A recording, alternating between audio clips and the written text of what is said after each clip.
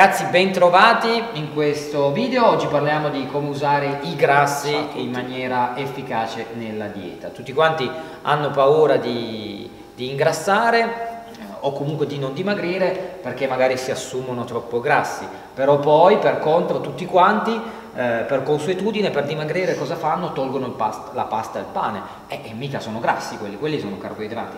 E allora cosa diavolo bisogna fare con questi macronutrienti, soprattutto con i grassi? E allora il nostro esperto in nutrizione, Christian, ci illumina a riguardo. Sì, allora intanto parliamo, parlando di grassi, mm, normalmente nella nutrizione classica ci sono un po' di capelli alzati, perché quando si parla di grassi eh, si intendono, si intendono delle, dei macronutrienti che fanno ingrassare, cioè perché come se noi fossimo un sacchetto vuoto e tutto quello che buttiamo dentro ce lo ritroviamo.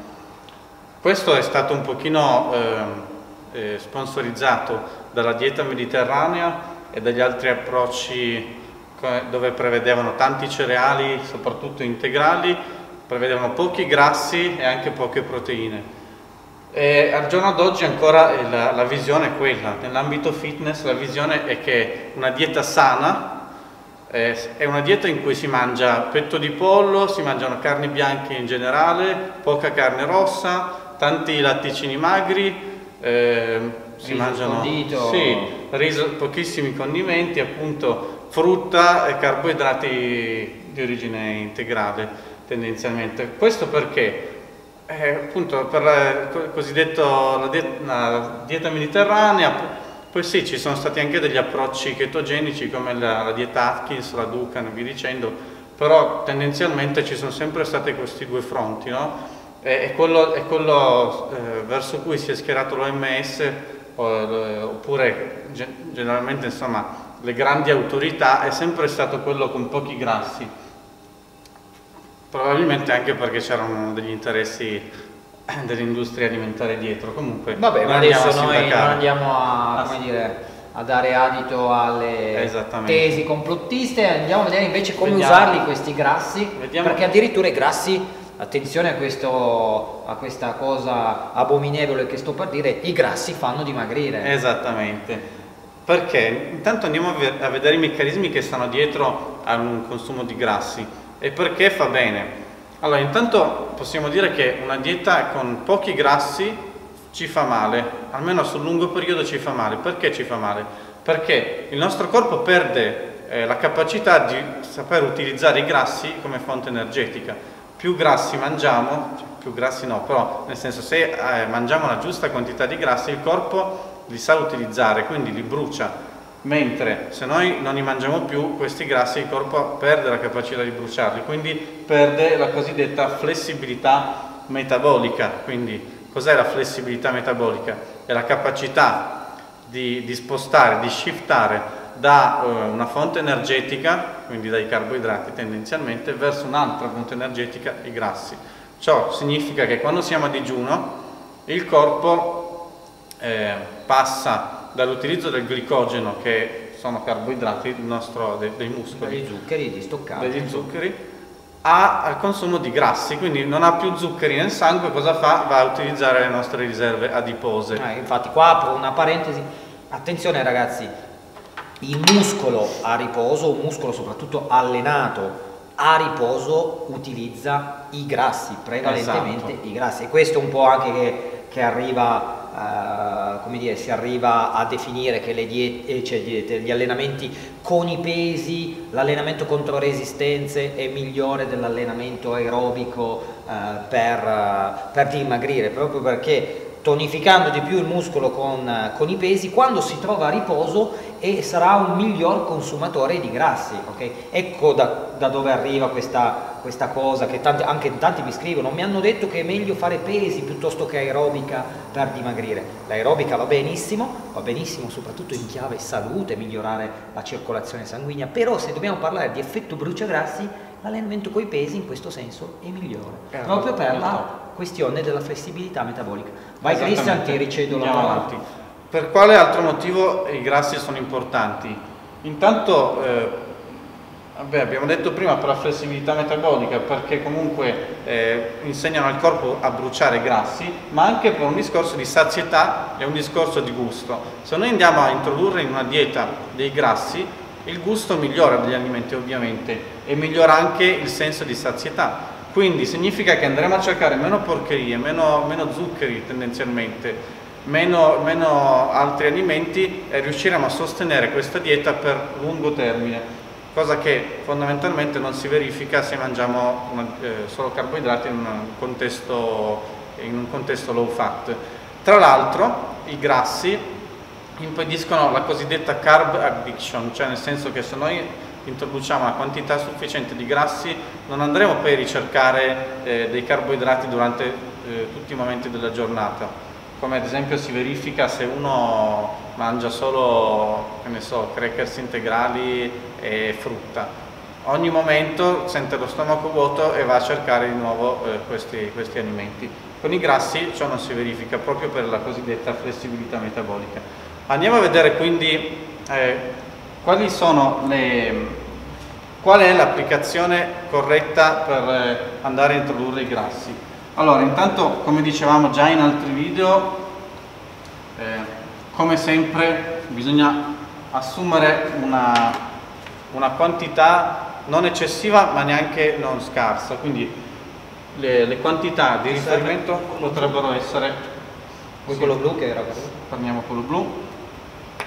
Le quantità di riferimento possono essere 0,8 grammi chilo a 1,4 circa.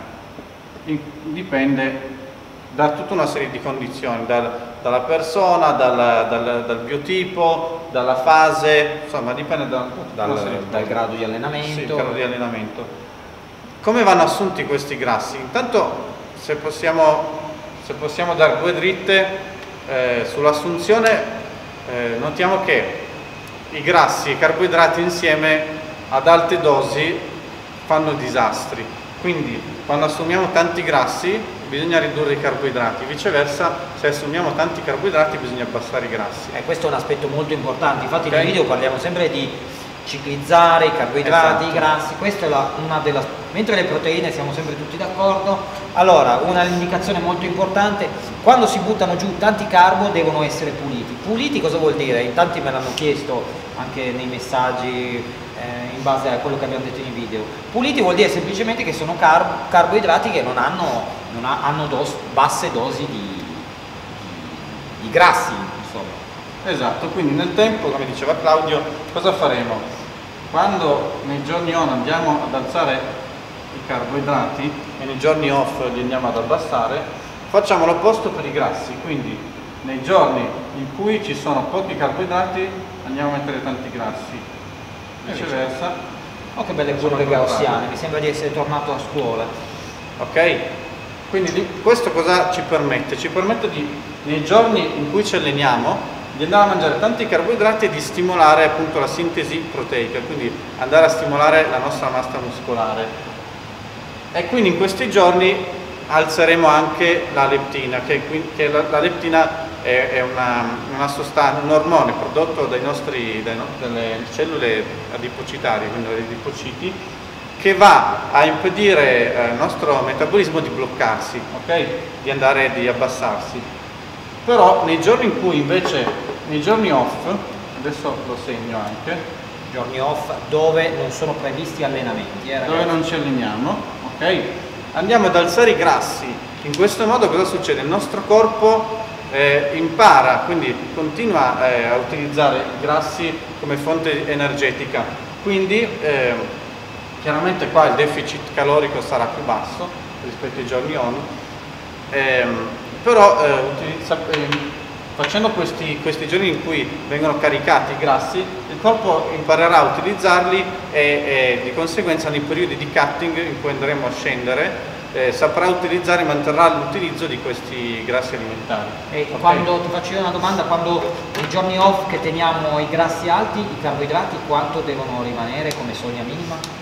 In quel caso lì i carboidrati potrebbero rimanere dai 50 ai 100 grammi, insomma la, la quota necessaria per, eh, per, i nostri organi, per, i, per, gli organi che utilizzano dipendenti, eh, sono dipendenti dal glucosio. Oh, però ragazzi attenzione, tanti grassi però attenzione eh, imparate anche a controllarli, nel senso adesso ci sono le app, noi usiamo Fat Secret, My, MyFitnessPal, provate a andare a segnare gli alimenti che mangiate, se voi già mangiate la, eh, il sottofiletto, le uova, un pezzettino di grana, un po' di condimento, attenzione che ci siamo eh, con i grassi, quindi non c'è certo. bisogno di come dire, sfondarsi di olio, margarina, certo. junk food, qui, lì andiamo veramente a quantità esorbitanti. Qui il monito è più che altro per le persone che hanno sempre mangiato petto di tacchino, fesa e quant'altro che insomma eh, gallette di riso, dicendo per riuscire un pochino a uscire da quell'ottica lì delle, de, de, sempre di, di, ricercare alimenti senza grassi,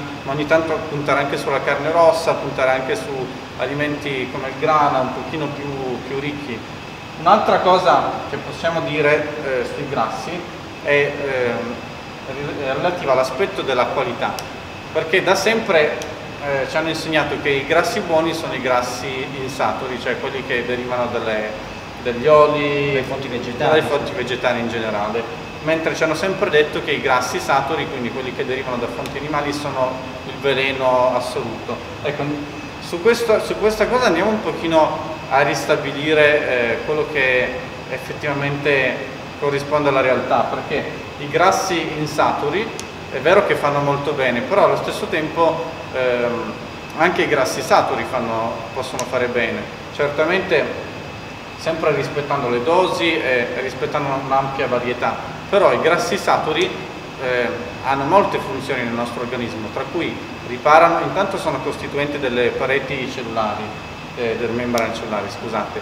Poi eh, vengono utilizzati eh, ad esempio nel metabolismo delle ossa e del fegato, vengono utilizzati dal sistema immunitario e sono tra l'altro una delle fonti eh, cardiache di energia eh, per eccellenza. Quindi occhio perché i grassi saturi eh, non vanno demonizzati. Ecco, e in che rapporto potremmo introdurre grassi saturi con grassi insaturi? Quindi diciamo grassi di origine animale con grassi di origine vegetale. Diciamo che dipende anche dalla quantità che andremo ad assumere, però tendenzialmente, tendenzialmente dal 40 al 60%, dal 50 al 50%. Cioè a favore dei cioè 40 sì. saturi, 60 insaturi? Sì, okay. o, o, viceversa, comunque tendenzialmente più, più varietà assumiamo anche di, di, grassi meglio è, per, anche per andare a ristabilire l'equilibrio omega 3 omega 6, okay. che è molto importante, ma su questo lo lo racconteremo in qualche allora, altro video. Benissimo, allora siamo arrivati alla fine di questo video. Cosa ci portiamo a casa alla fine di questo video? Che i grassi vanno consumati, ovviamente tutto il discorso che abbiamo fatto riferito soprattutto alle persone che si allenano. Esatto. Chi si allena è sempre molto più facile la, la questione perché i muscoli funzionano bene, la massa magra è efficiente e quindi è tutto più facile da mettere in pratica. Quindi ci portiamo a casa che i grassi vanno assunti, anzi i grassi se assunti eh, senza i carboidrati, quindi separatamente rispetto ai carboidrati, fanno addirittura dimagrire, ok? E viceversa se assumiamo tanti carboidrati però teniamo bassi i grassi a quel punto ed ecco che la ciclizzazione dei nutrienti si regola da sola, quindi in, in maniera ottimale. Bene, con questo è tutto, ci vediamo in un prossimo video. Ciao ciao! Ciao ragazzi!